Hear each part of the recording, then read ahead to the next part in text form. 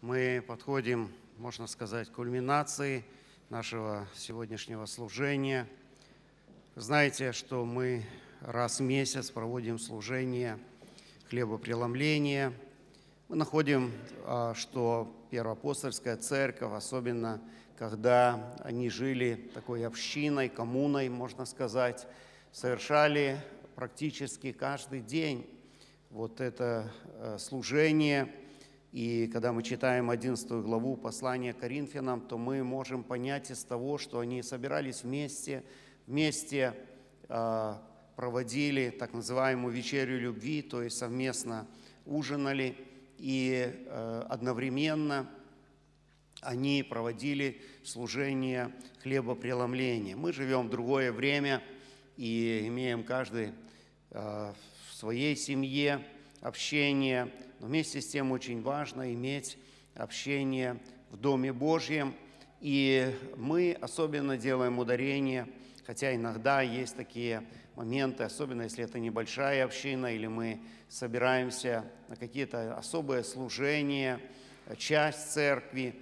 У нас есть такое совместно, когда мы разделяем пищу, но э, как церковь поместная, мы проводим, и большинство евангельских церквей нашей страны, да и других многих стран, э, избрали первое воскресенье каждого месяца. Иногда это переносится на другое воскресенье, это не какое-то такое, знаете, установление, которое нельзя изменить, э, но это очень важно, чтобы мы с вами участвовали в трапезе Господней. Конечно, есть такие обстоятельства, когда человек пропускает, э, мы повторяем вечерю Господню вечером для тех, кто не имел возможности утром участвовать в служении. Иногда так получается, что кто-то в отъезде выпадает э, рабочее время, хотя мы просим и верим, что за лучшее, чтобы верующие люди не работали в воскресный день, но иногда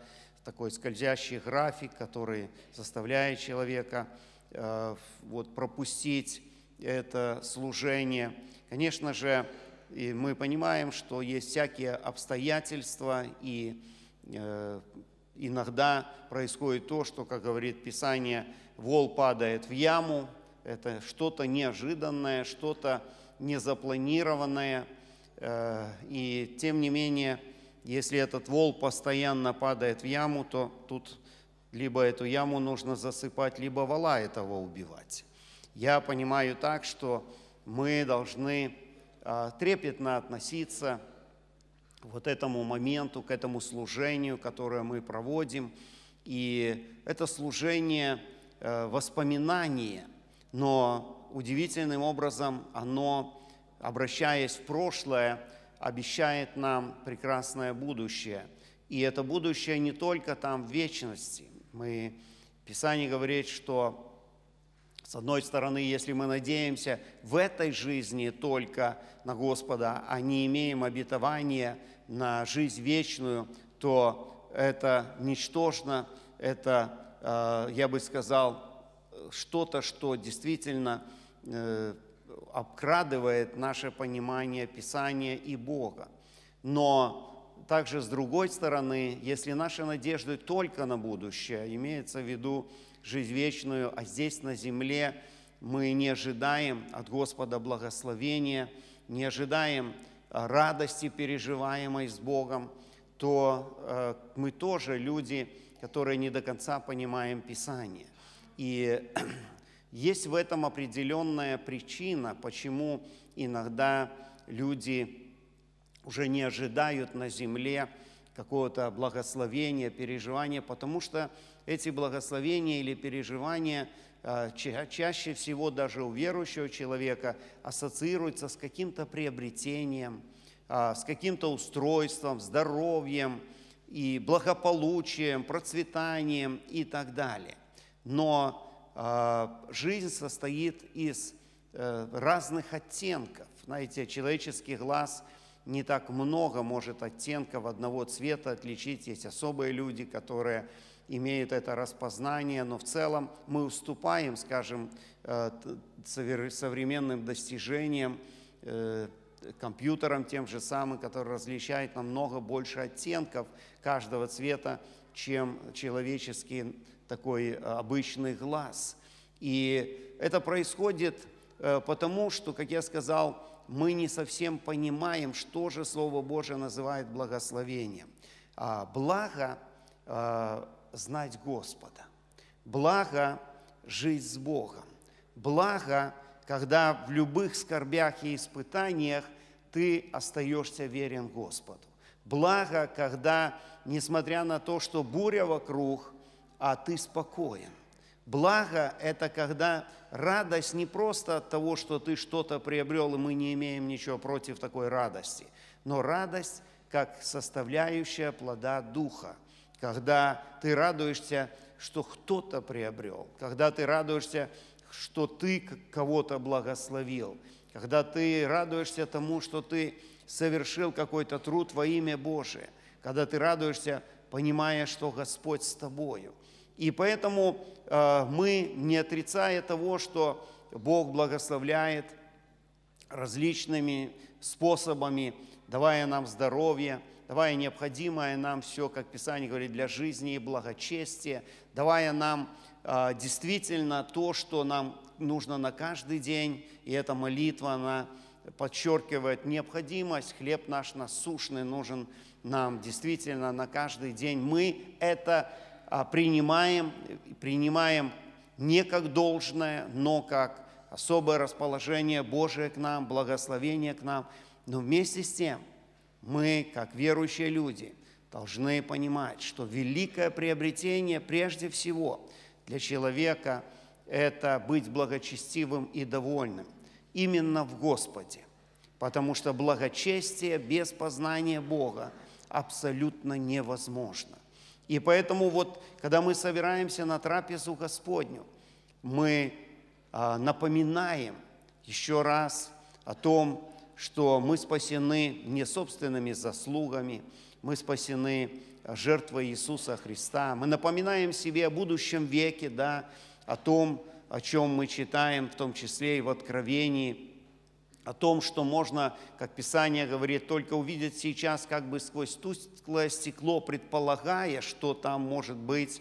И знаете, есть люди, которые очень сильно увлекаются, пытаются найти, а как же там будет вечности.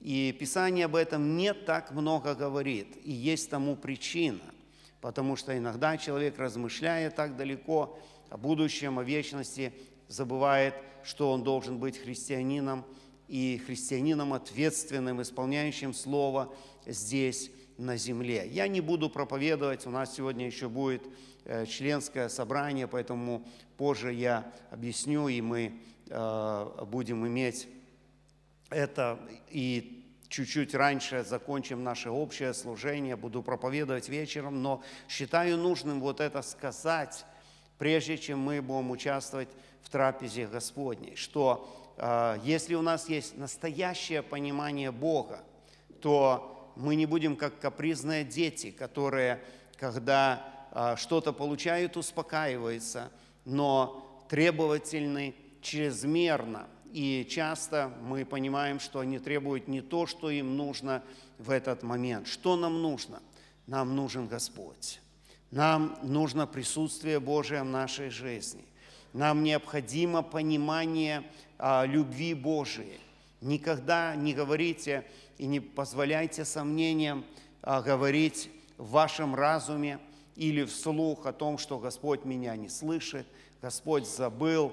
И в такие минуты особенно необходимо вспоминать жертву Господню. Вот этот стол, который сегодня накрыт и в котором мы будем участвовать, потому что это подчеркивает любовь Божию. Это обеспечение, это гарантия наша на будущее, но при условии нашего соблюдения Писания, а, признания Христа. И если ты любишь, ты будешь делать все, чтобы не причинить боль тому человеку. Ты пойдешь сверх того. Именно об этом Христос говорил, когда Он говорил, если а, тебе нужно пройти одно поприще, то пройди еще одно, экстра, сверх. Э, это дорогу, которую ты должен идти. Точно так же и в большей степени по отношению к Господу. Мы будем благодарны Ему и э, не будем искать в Боге причина, потому что иногда причина в человеке, а иногда просто причина в незнании Писания, в том, что является главным в нашей жизни. Вот это главное и вторичное, первичное и вторичное часто мы не можем а, распознать без действия Духа Святого. Мы можем о чем-то даже просить, плакать и говорить, что Бог не любит, потому что я этого не получаю, а потом оказывается это ко благу нашему. И что бы ни случилось, не позволяйте сомнению поселиться в вашей душе в справедливости Божией. Люди несправедливы часто, мир несправедлив, но есть справедливость Божия, которая обязательно восторжествует. И это во всех сферах нашей жизни, в том числе и а, в таких, как здоровье, финансы, семья, благополучие и многое-многое другое. Но будем помнить, что и сегодня существует гонимая церковь, которая служит Богу не потому, что что-то приобретает материальное. Мы должны понимать, что есть ценности более важные. Люди и сегодня отдают жизнь свою за Христа, когда стоит выбор отречения от Бога, либо служения Ему. Может быть, уже не на земле, но там в вечности. Поэтому будем учиться быть благочестивыми и довольными людьми. Первое послание Коринфянам, 11 глава, это то время пришло наше сейчас непосредственно обратиться тому, что говорит апостол Павел о хлебопреломлении. 23 стих. «Ибо я от самого Господа принял то, что и вам передал, что Господь Иисус ту ночь, в которую предан был, взял хлеб и возблагодарил, преломил и сказал, примите, едите, сие есть тело мое, за вас ломимое, сие творите в мое воспоминание. Эта величайшая мудрость Господа проявляется в хлебопреломлении. И э, нельзя что-то придумать или заменить вот то, каким образом Господь э, решил напоминать детям своим здесь на земле о своей жертве. И это великое благословение для нас. Пусть даже еще кто-то не заключил завет с Господом, даже присутствуя здесь, уже благословение. И смотря на этот стол, это уже благословение. Но сейчас мы давайте поднимемся и помолимся о том, чтобы действительно мы были достойны этого участия. Когда чуть ниже Павел говорит, что из-за того, что люди пренебрежительно относились в Каринской церкви. Некоторые были больны, а кто-то даже умер. Конечно, нам хочется это принести больше понимания духовное. И здесь есть этот смысл также. Но я верю, что здесь и буквальное также есть толкование. Э, люди настолько пренебрегали, что Господь избирал таким образом через их тело даже воздействовать чтобы пришло понимание, чтобы пришло э, хотя бы спасение души, если уже не тело. Но не будем доходить до таких радикальных мер в нашей жизни с Богом. Давайте помолимся, чтобы мы сегодня имели достойное участие. Не сегодня только, но всякий раз, когда мы участвуем в трапезе Господней.